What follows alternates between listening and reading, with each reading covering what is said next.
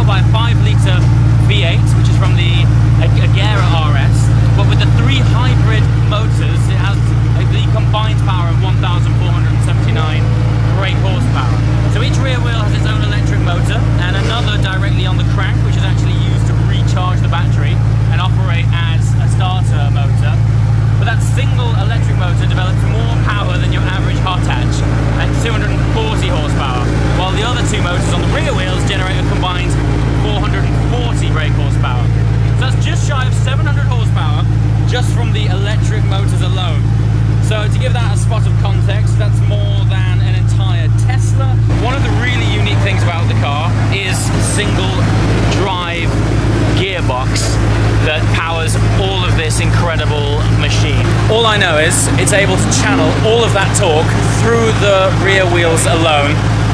Uh, and we're about to experience what that thing's like firsthand. Let's hit it. Okay, while we are waiting to go up the hill, we're conveniently sat behind an Agera RS. Now, the significance of that is it recently set the production car land speed record of 277 miles an hour.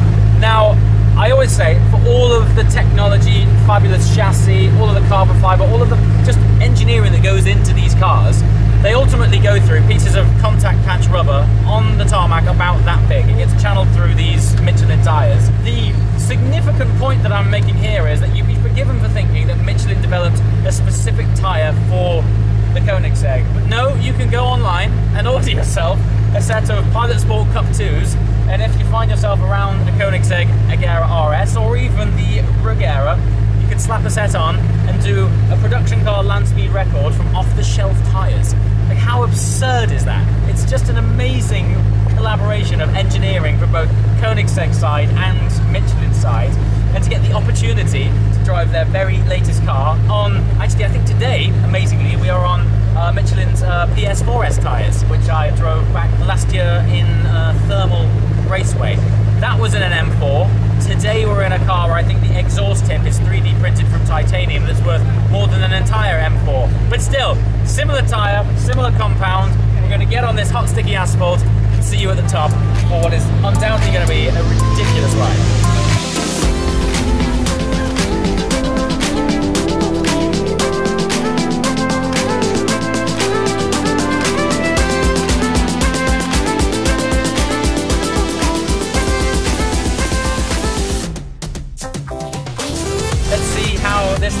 Power to pavement shortly.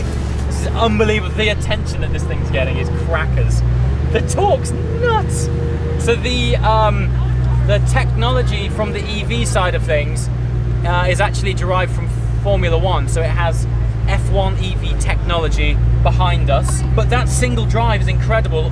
We have two paddles here, which instinctively from someone who's been driving normal supercars for the last God knows how many years, You've got two paddles in front of you, you instinctively want to pull them to go up or, up or down a gear.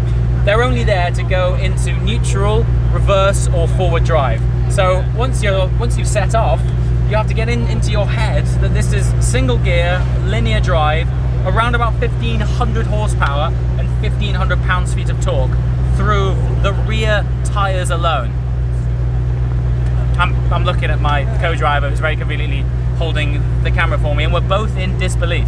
So we're gonna queue up. I mean, the cars in front of us are incredible. We'll share those with you shortly. Yeah, let's do this is gonna be what's known as a ride of a lifetime. Are you ready? Dude, we're going, we're going, we're going. Off we go.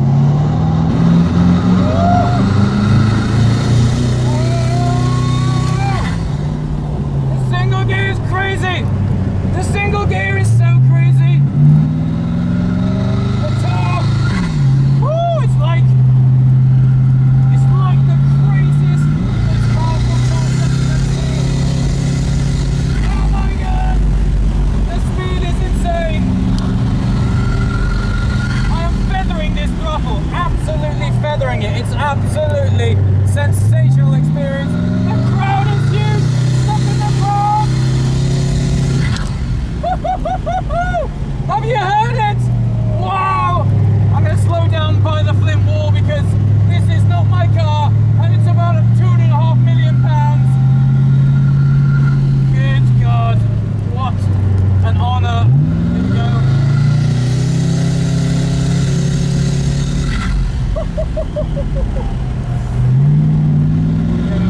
Over the finish line.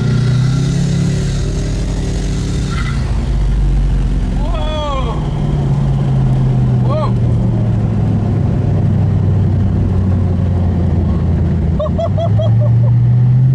Try one more straight line first. Good lord. Well, just like that it was over. and I guess it should be with speed like that. What? What a monumental honour and experience have the first drive in this car. We're going to park it behind the other Koenigsegg. Okay, I don't care about the helmet hair, and I don't think you do either. Where do I start with that? Um, world's first single-geared hypercar. It's unlike anything.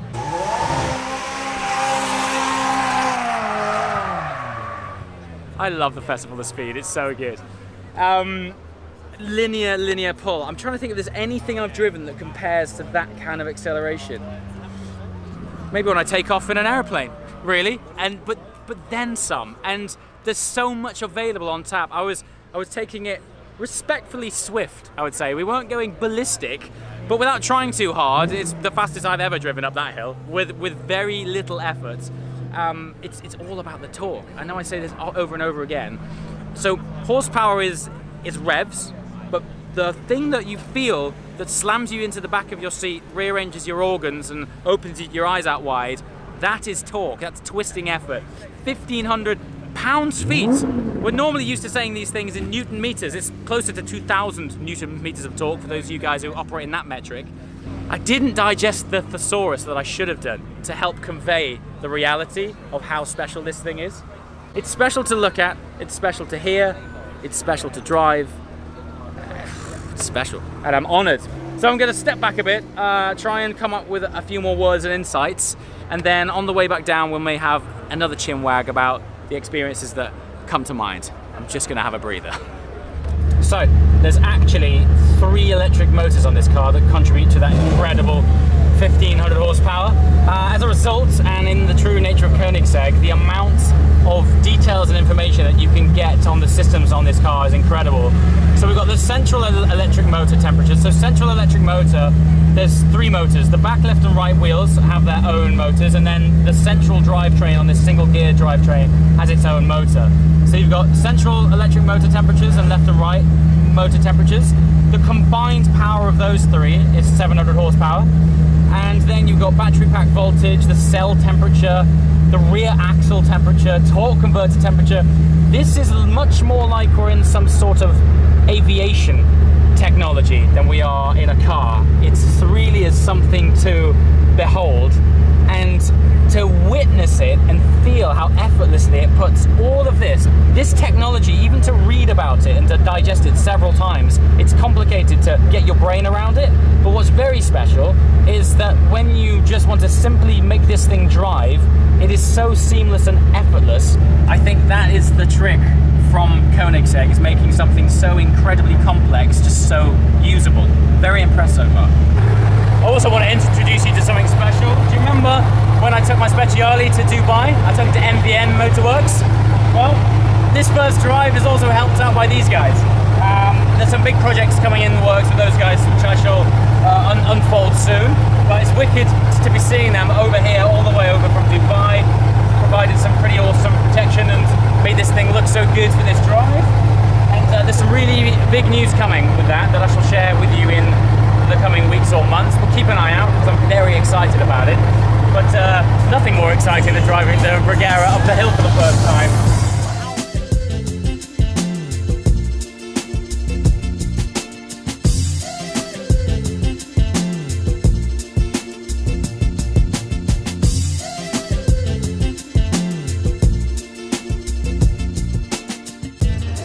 Okay, so welcome back to the Koenigsegg Regera.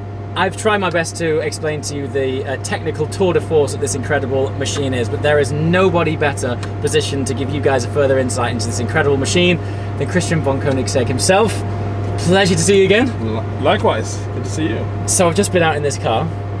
Um, one thing I'd love to ask is what was the starting point to think we need a single geared car?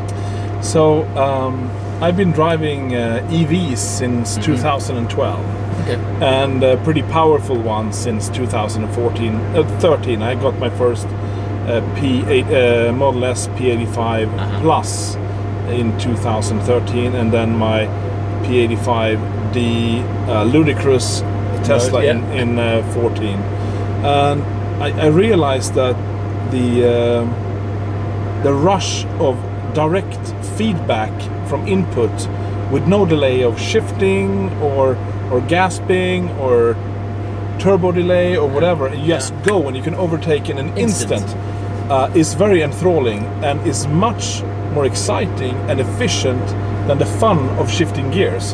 And I was just then kind of thinking for years how can I combine this behavior with the DNA of a Koenigsegg, with the te technology we have, the lightness we need to achieve, mm -hmm. because an EV is, is inherently heavy mm. nowadays. Yep. I mean, maybe they will become lighter eventually, but nowadays they're heavy. And uh, and after like one and a half year of thinking, an idea crystallized that I threw at my engineering team. They shook their head first, their heads first, and eventually, ah, maybe it will work, you know. And and and here we are uh, and you just experienced, and I haven't even heard uh, what you think of it yet, uh-huh. but but it's it it does give you that directness, uh, that rush of immediate power, but with a roar, but a roar that is kind of connected to the propulsion and the progression of the car, which a CVT uh, transmission yes. does not allow. But totally, yeah. but that's it. So let's hear what you think then. so fascinating that you that you started with the idea when you were driving a Tesla because somebody when I was on the Michelin stand earlier they asked me how was it and I said imagine the linear pull of a Tesla with the force of a V8 behind it. I mean, I mean that's kind of one way of it. But in order to really uh, convey that force that this thing gives you, I've never driven anything quite like it particularly with in my vision I've got paddles. Right. But you don't need to pull them. Uh, not, not necessarily, unless you're in lockup mode and you don't want to kind of kick down shift. You want to prepare yourself. You can use them. It's more for okay. fun sure. than need. Yes. Let's put it like that. Um, how long did it take you for the relationship between the hybrid, the V8, and the single drivetrain take? Because if when you drive it, it feels simple but yes. the art of simple is very difficult. That's it. That's it. So in one way, it's simple because it's few components, but then you have the interaction of combustion, mm. torque conversion, direct drive, electrical motors, uh, uh, and, and, and it's and, nuts, dude. it's, nuts. And, and, and it actually it was easy to get to, to start driving. Okay. But yeah. it took a long time to refine it. I can I can imagine. Yeah. Has the single drive helped with coping with so it's just shy of 1500 horsepower. Yes. And just shy of 1500 pounds feet of torque. Uh, it's 2000 newton meters of torque. so uh, it is. Um, I guess. Yeah. I guess yes, you're right. Yeah. Basically. Okay. Has having direct drive helped deal with those kinds of forces? Uh, definitely, Yeah. definitely, because you have no jerkiness. Of course. So if you have a lot of torque and power, and then you have the slamming of, of shifting, Cogs you, and things, yeah, yeah. you kind of get duplication of torque Sure. uh, and, and, and shock loads. There are no shock loads here. It's just smooth progression. I when I got to the top of the hill, I likened it as if there was a massive magnet at the top, drawing me up the hill. It's funny. Yeah. It's a pulling sensation. It really is. It's, Yeah. it's something sucking you in. It's Yeah. like there's a vacuum in front It's of the just, it's You're just like that. It's, in. it's so strange. We've just discussed the crazy power, both horsepower and torque. How did the tyres deal with that? Yeah. Um, so, first of all, Yeah. uh, this, let's say the uh, suspension, uh, Mm-hmm. the shock absorber, the active shock absorbers, the active ride height, Mm-hmm. the active bump and rebound, the long wishbones, all of this are derivatives from the previous programs we do. Mm-hmm. And what we have learned over the years is how to put power to the ground, as we've had so much power on on two uh, on one axle, uh, and and it's, it's a testament that our customers come back to us and say we can't believe the amount of power we can put to the ground through two wheels. Uh, so we're doing our our uh, let's say our job uh, well there, but it couldn't be done without the help of Michelin, uh, because everything goes. Whatever we do Mm-hmm. be- between us and the ground, we have Michelin. I guess your contact patch, as big as those tyres are, Right. it's still compared to the amount of power going through them, the contact patch is still quite small. It is, it is, but it's shocking the amount of power you can put through two wheels really, if you if you really kind of put your, mind to it. Yeah. Yeah. I was amazed driving up that hill. Honestly, I was 30% throttle. Right. And it was quick enough. Like it was unbelievable. And every now and again I thought there's, there's so much more grip here. I gave it a bit more of a stamp. Not a slip, No, no, not no. a squirm, not a light on the dash. It No. Just it just kind of squats and goes. That's it's it, an incredible that's feeling. And that's important that you say that. Yeah. It does squat a little bit, and that's the key Mm. to traction with two-wheel drive. Mm-hmm. I had a race driver saying, "Ooh, it moves around much more than Mm. my GT3 race car." well, on your GT3 race car, you have 600 horsepower and slicks. Sure. Here we have road tires and 1500 horsepower. It needs to move needs a little a bit. bit it needs to sit down Yeah, and, and, and transfer squeeze that weight the over the back exactly. yeah. It's not a race car. It's a road car. Exactly. No, it's an amazing thing. Um, I heard that you managed to do your production car land speed record on. Were they just stock tires? Completely stock, off the shelf, That's ridiculous. and they, they, they, they, didn't even care about it. Isn't that It's- incredible? It's, it's amazing. Uh, I mean, our cars are light. They're lean on the tires, yeah, uh, and then Michelin just does a wonderful job. You know. fabulous. I've driven a fair share of cars in my time. I've never driven anything that felt quite like this, and it is hard to put it in, In to words. It's of- very hard. I don't really know how to explain it, but the first thing that came out of my mouth when the first person asked me was, "It's like the linear pull of a Tesla or an electric car with an incredible V8." Combined with that, I mean, if that isn't the recipe for awesomeness, I don't know what is, man. Like, top work. Um, it's an honor. Thank you so Well, much. I, I- really, really appreciate it. I'm, glad you made it. I'm glad you, you. seem to have enjoyed it. It's been fantastic. I'm under the impression that this is a very early car, It is. It's one of the first ones. first cars. So to be able to have the opportunity to drive this at such an iconic event is a real honor. So thank you so much and congratulations on a very special car. Thank you. Thank you.